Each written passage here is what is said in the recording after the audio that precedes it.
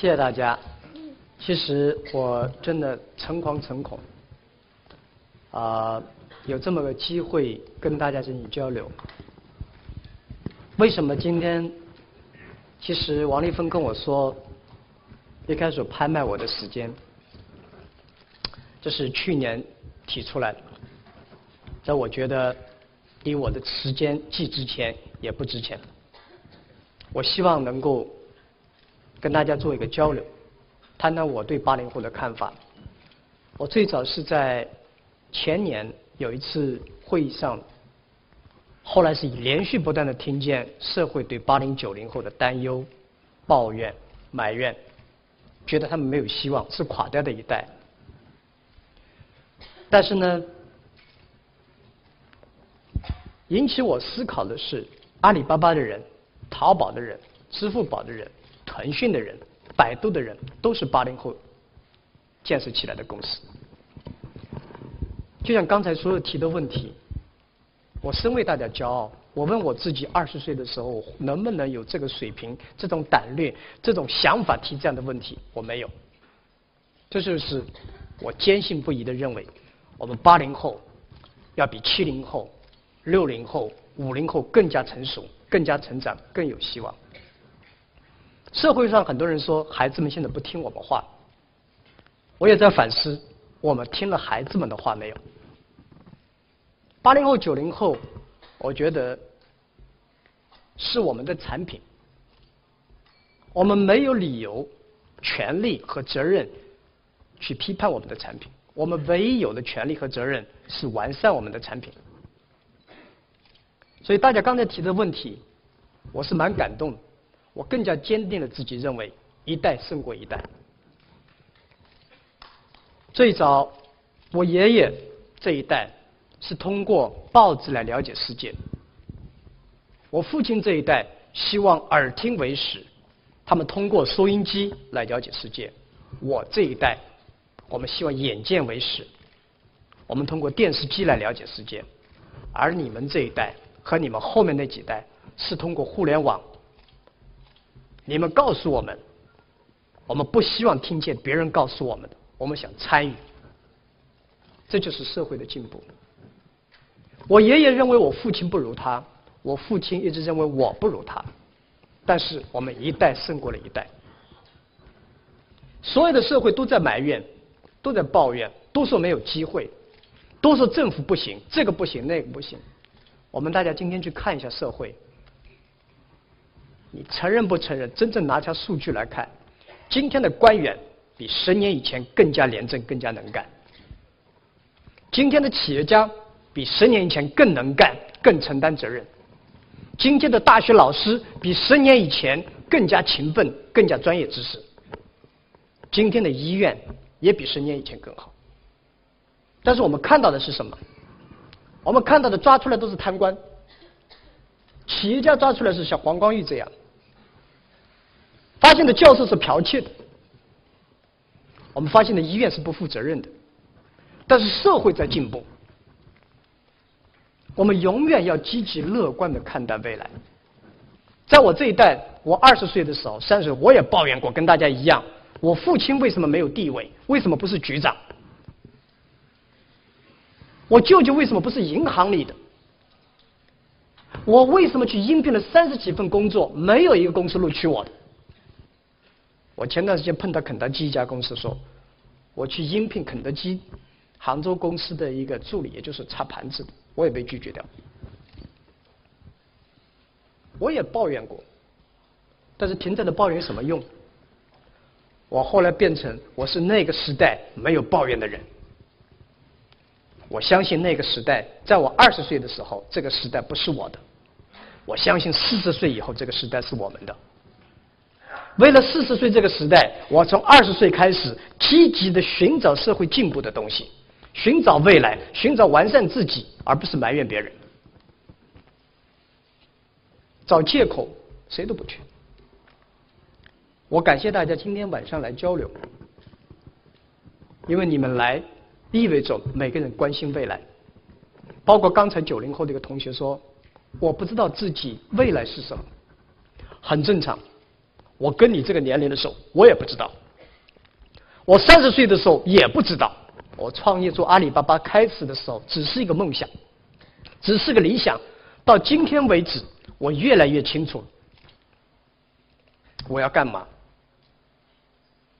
所以我想，不知道没关系，但是要心存理想，说我会找到的。我们不断的在思考这些问题。大家说社会到底怎么了？看到的全是坏的。但是我相信在座的以及今天在网上的人，假如你看到社会的积极的正面的一面，你看到的永远是乐观的一面，去改变自己的一面，你才会成功。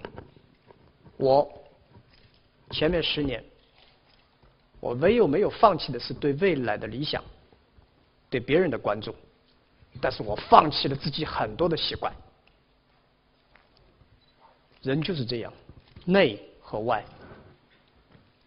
所以，包括刚才问的所有的问题，我感谢这些问题。这些问题也许都没有解答，这个答案一定你人生去证明它。你觉得是对的，那去做。创业永远挑选最容易做、最快乐做的事情。创业不是为了赚钱，而是你喜欢它，你喜欢这个工作，你喜欢做这件事情。那是最大的激情，最大的动力所在。如果你为了挣钱，我告诉你，永远有比你比这个你想的更有挣钱的东西。你选择是因为你喜欢，你喜欢你就不要抱怨。这世界上我们可以批判，但是我讨厌那些极左极右。中国社会不能再这样那样，而你们。一定会替我们找到未来。今天中国的问题，所有的问题会出现。我告诉大家，六十年以前中国也有过，五十年以前中国也有过，四十年前中国有过，六百年以后中国还会有。你来到这个世界，纷繁多多彩，就是因为有这些东西。不是每个八零后、九零后都会成功的，但是有人会成功。不是每个六零后的人都会成功的，但是有人会成功。谁会成功？你勤奋，你执着，你完善自己，你改变，去影响别人，去完善社会，这样的人会成功。我不是一个成功学的人，我不喜欢看成功学，我只看别人怎么失败，从别人失败里反思什么事情我不该去做。从别人成功中，我在反思，也会反思他为什么成功。我要学他的成功，还是学他的精神？所以，没有什么抱怨，坦荡的看自己，做自己。刚才有说怎么做自己，我们做自己。你问自己自己问题：我有什么？我要什么？我愿意放弃什么？就像我刚才说，我们人生到这一世，不是来创业，不是来做事业的，我们是来体验生活。世界本来就是不公平，怎么可能公平？你出生在农村，盖茨的孩子出生叫盖茨家里面，你能比吗？但是有一点是公公平的，比尔盖茨一天二十四小时，你一天也是二十四小时。这二十四小时三个八小时，八小时你在路上走，在挤公共汽车，在走路，你根本不知道自己在干什么。你这时候需要好的朋友，还有八小时。你睡在床上，你也不知道自己在干什么。你这时候需要床，有一个好的床，床上有一个好的人。还有个八小时，你知道自己在干什么，那就是工作。假如你工作是不开心的，你做的事是你不爽的，可以换，千万别做。做在这个工作，讨厌这份工作。我觉得这些人是没有意义。娶了这老婆，天天骂老婆又不离婚，什么意思？对不对？所以我想每个人要清楚，世界不公平。你如果想改变它，第一告诉你不可能，第二去从政去，也不可能。只是人可以不一样，出生的条件不一样，但是人是可以幸福的。你是幸福是自己去找的。我以前走过，最感受走过民工屋，城市的创业者，那些打工者，我对他们尊重。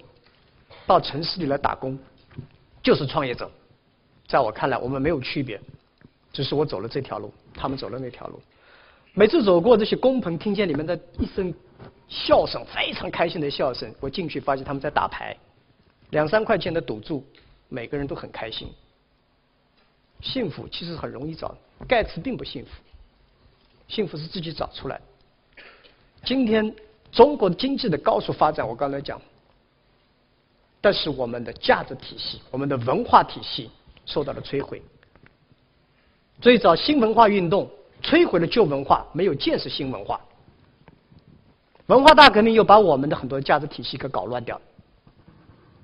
所以今天有的有的人学者来讲，我觉得我并不完全同意，中国不是一个法治社会，好像有了一套法律，我们就能解决这些问题，不是那么回事。情美国发展是因为法治吗？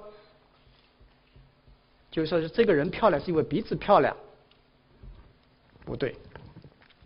大家记住，美国的整个经济的美国社会的发展，它是基于基督教文化的，在基督教文化上面建立一套法律体系，在这个法律体系上面建立的政治体系，在这个上面建立起他们的领导人的选举体系，整个体系比你想象的复杂多，而这只是简简单单一部分。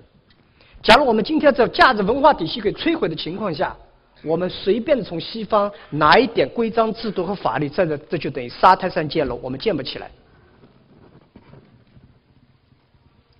我们需要的是重新找回价值体系，让我们的年轻人明白，不要怪别人富，不要怪人家有钱，而是我如何改变自己，对社会有贡献，我寻找快乐，寻找幸福感。创业不会给你带来幸福感，它会给你带来快感。但是快感的背后会带来很多的痛苦，而真正的幸福感是你知道自己在做什么，知道给别人在做什么，你会逐渐逐渐从痛苦中找到那些快乐。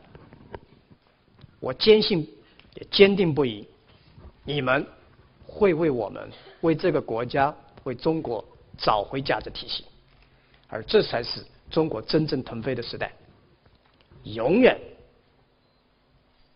是如此，一代胜过一代。而最最高兴和骄傲的是，我从你们眼光里看到了希望。所以今天，请大家，我们不要抱怨。如果你想成功，看任何问题，积极乐观的看。就是这个时代还不是你的。我刚才就说了，你们有权利抱怨。